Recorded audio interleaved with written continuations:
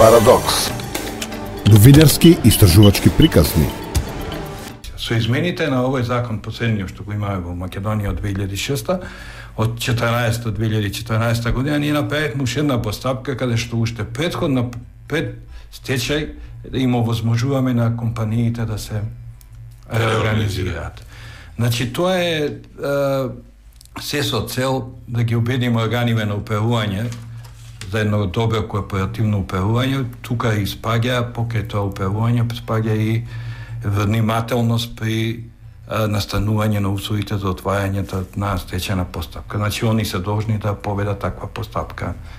Должни, и недолжни, како кој го кај нас имаме кај најголем проблем со органиве на управување, со директорите и а, другите органи, сваќањето на, на тоа и оценката на моментот кога ќе отворат постапката за реорганизација и дали воопшто ќе отворат или ќе отидат Да расчистиме господине Костовски. Секојаш додар се стечените управници и стечените судии. И ако направите анкета, сигурно кажете и тие се корумпирани, митаджи и вака так. Меѓутоа тука имаме конфликт на интереси, имаме а, суди на интереси, затоа што доверителите сакаат што побрзо да си наплатат. И сега вика стечените управници сакаат што повеќе да трае за повеќе плата да земат повеќе на доместок за себе. Меѓутоа го слушнавме Петро вели обратно е. Ако побрзо и поефикасно се заврши постапката, наградата е поголема. Да го да ги разјасни, имаме и многу непознаници, многу недоумици Да. околу тоа. Сите работи се влечат и се лепат за стечајните управници и за судиите. Доверителите ретко кој ги споменува. А, Или и тие се во дослуг со Моram управниците да и со кажам- судиите. Моram да ви кажам тука дека има голема а, голем проблем во, во сваќањето на стечајната постапка. Па Прво, нити стечајниот управник, нити судијата е тој кој што ја донел фирмава до стечај. Значи, фокусот треба да се а, удари на тие што создале услови да отиде друштво во стечај. Е, во моментот кога ќе се отвори постапката, тогаш фокусот е на судот и на стечајниот управник. А ако друштвото не почнала постапка за организација да спаси што може. За жал, во Македонија, во 95% предмети што сме ги виделе, органите на управување, директори и така натаму, надзорни органи, без разлика која форма на трговско друштво е, создаваат услови да до максимум друштво се обезвреди и да нема никаков имот. Ако направите на мала анализа, ќе видите дека 95 е, е, посто од предметите се така наречени од куќи за куќи предмети, Што кои што фактички не се ни водат. Се констатира само дека нема, нема маса, нема што да се Нема води. имот и немате на што да отворите стечена постапка, Не да спроведете Нема, постапка. нема, нема може за Е, обештетување. така, за- немате ништо. А тука никој не направил една по, подлабока анализа колку доверители па препаднале од такви мали обично мали и средни предпријатија или микропредпријатија се во тој сегмент. Или трговци поединци Не само кај малку големите комбинати кои што имаа многу вработени. И тие нормално ние- ради вработените беа по да ви кажам сега се смени начинот на и се смени перцепцијата за стечајот. Фактички ние пошто на некој начин не завршиме транзицијата, сега е узорно да зборуваме за Славија и за Македонска банка. Македонска банка не е ни во стечај. Она е во ликвидација по закон за банки. Меѓутоа има една мала мал проблем во законодавскава регулатива, па напишале таму дека на ликвидација на банки ќе се применува стечена постапка, што воопшто не одговара на на реалноста, затоа што ако ви отворите ликвидација на банка, тоа предпоставува дека треба да вратите 100% на доверителите. Ма чекайте, Македонска банка има имот, има Има да. Да, меѓутоа, ако ја гледате малце подлабоко и поблиско во пракса, ќе видите дека дека многу од имотот и од отиден. продаден, отиден, да не кажувам сега уште некои Аха. а, ситуации кои што се внате во таа, мислам не сум ни повикам, затоа што си има ликвидационен управник, има судија кој што го води предметот. Добро, сакате да кажете кога доверителите треба да ги отворат очите А, и да ги фокусираат уште пред да дојде стечајот се- или да точно, инсистираат побрзо стечај да има за да има што да се точно, спаси, така? Точно, точно. Значи Сега да кажете дека многу од овие фирми за кои што сега зборуваме, може би не требало стечај да има. Ако бевме сите организирани добро и доверителите и државата и органите. имаме ние сега одлична појано јас кога работе стечена постапка, вие не можевте да дојдете воопшто до некој органи на директори ги снемуваше, се крие, а не можете да најдете сметководствена документација. Сега е се тоа променето. Значи ние имаме еден систем кој што се развил. А, ќе исцрпат фирмата ги снемува. Да, едноставно го нема. Не можете да го најдете. Ке смени адреса, ке ке исчезне. А, тоа е. А сега вие можете во центарен регистар да му најдете а, завршни сметки, да му анализирате, на секој све е достапно сега. Па и на доверителите, додека вашиот должник работи, гледате дека не ви плаќа, можете да го проверите што се А, случува. има може да си во банки, Народна банка и во да, централен регистар. Имате кредитно биро и така натаму. Има разно разни субјекти кои што можат да кои што не беше така. Не, не, не. Сака да кажете дека тоа е се сега се позаштитени доверители. Да, да, да, да, да. Доста се позаштитени, само што работава е а, озбилно ќе разберат работава. Кај нас, знаете што е проблемот? Кај нас иде на доверба, ако не ви плаќа, не ви плаќа. Вие сега а, не можете да губите време да водите спор. Знаете дека уште водат споровите се многу Да, долга треба. приказка. Да имате на да кажам можете да искористите да направите договор со извршна исправа, клаузула да ставите внатре и веднаш да ви кога нема да ви платат, веднаш да го пуштите кај извршител.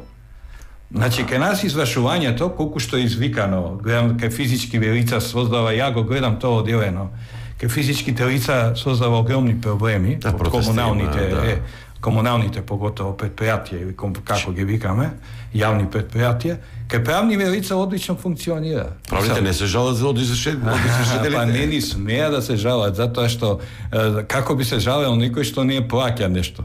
А вие сега му блокирате сметка или не знам што му прави.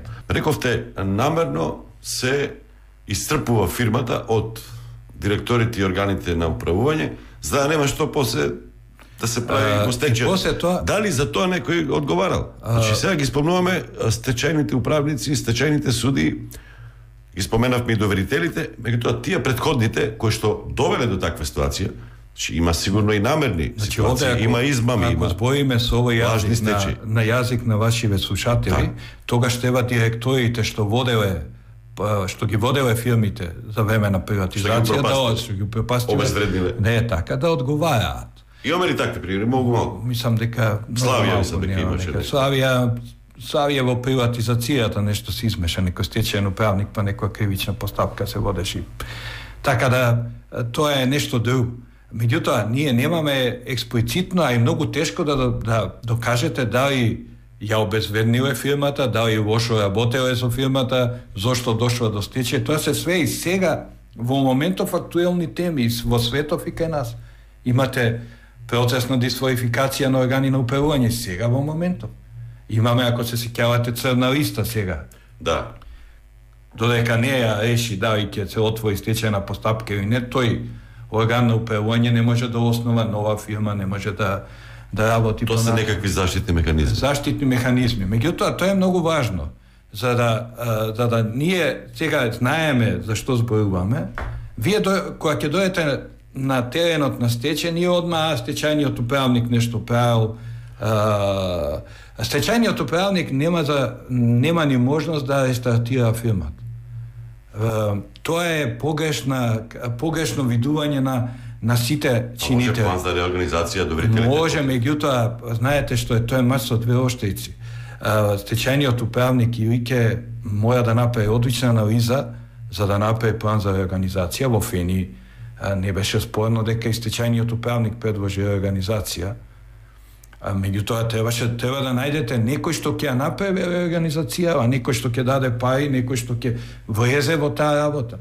Значи, те, ни ви требате Стечајниот инвеститор. Не, не треба само техничко лице, треба и бизнисмен да биде. Инвеститор треба да најдете некој што е спремен да го, да го Фениксот да го дигне на ноги. Затоа што 90% е стечајните кај нас се на апарати за дишење, сега е тоа интересно со овие респиратори. Аха, да. Дури немаат ни респиратори, вие лежат и сега вие доаѓате во една ситуација како стечаен управник, може да профункционира, меѓутоа немате финансиски средства од каде. И сега се бараат од надвор, тука и државата треба да игра а, голема улога, поготово агенција за странски инвестиции. Mm -hmm. Појано, сега не знам во последно време, меѓутоа појано знам дека имаше големи големи голема улога, тука и се изнаоѓа инвеститори надвор. Така да стечајниот управник, стечајен управник нити има и нити има можности.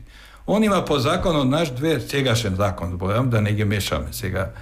Вчера спомнавме некој активен стечај, или да доработи она што може да се доработи заради доверителите, за да добие некоја стечајна маса, за да исплати парите на доверителите, или да продолжи потфатот што ќе му треба поголеми финансиски ресурси. Значи, ние не можеме да ги гледаме работивте еднострано. Сега дојде стечајниот управник и сега ќе спаси фирмата. Толку добро работат и сите директори и органи управување, па вие ќе немате работа тоа Па да.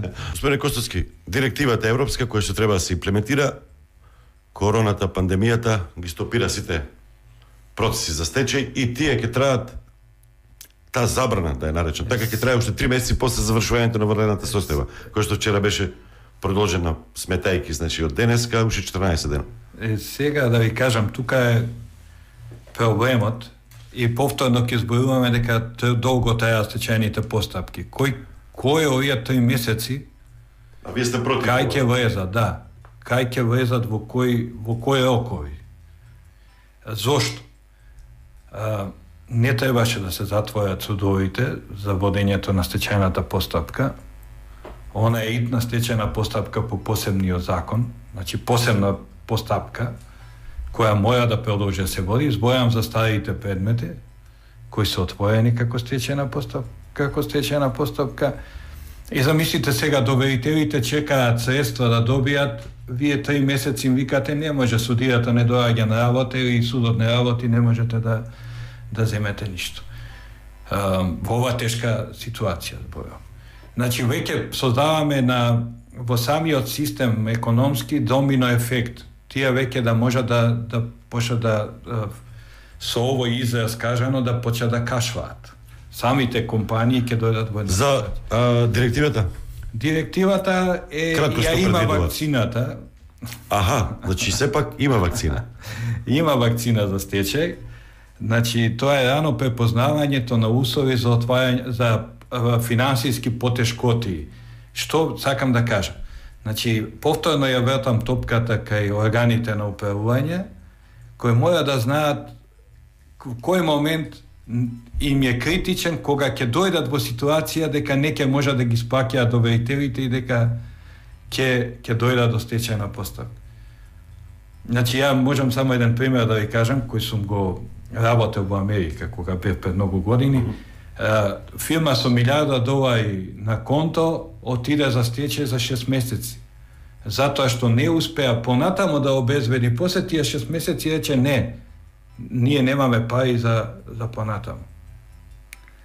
Значи да се имплементира што побрзо тоа решение а, значи, сепак има. Та, тоа е ано предупредување и овие Ацо Петров што ги спомна колегава, Тоа сега го работиме со оваа реформа на, на новата на стечајно законодавство, меѓутоа повторно мојам да ви кажам дека тоа нема да ги реши старите проблеми, овие што ги спомињаат вашите слушатели, тие се све стари работи, за тие донесоа државата донесе еден закон 2014 кој се вика закон за заклучување на стечајна постапка отворени според Да.